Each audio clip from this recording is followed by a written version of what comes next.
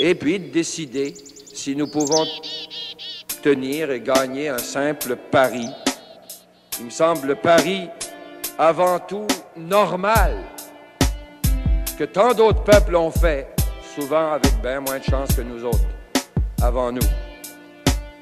Est-ce que nous sommes capables, efficacement, fièrement, sereinement, et en amitié ou en association féconde avec ceux dont nos intérêts et toute la tendance du monde civilisé nous indique l'opportunité, est-ce que nous sommes capables, à l'égal d'autres petits peuples, qui justement sont parmi les plus avancés du monde, tout simplement de mener notre barque à nous, nous-mêmes, convenablement?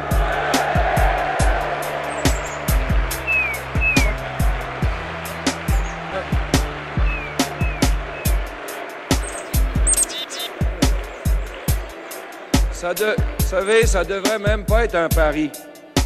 Nous, notre réponse, vous l'avez donnée, c'est que la question ne devrait pas, ou en tout cas le plus vite possible, ne devrait plus se poser. Vous savez, l'avenir, il est à personne. On le sait, ça, le poète l'a dit il y a longtemps. Et on sait une chose aussi, c'est que l'avenir, de quelque façon qu'il tourne, sera jamais facile. Il sera toujours exigeant. Probablement que, sûrement même, l'humanité ne perd pas la tête complètement, que les promesses de cet avenir-là seront à mesure de ces exigences, pour tous les peuples capables de tenir le coup. Mais comme l'avenir, on ne sait pas ce qui va être de façon précise.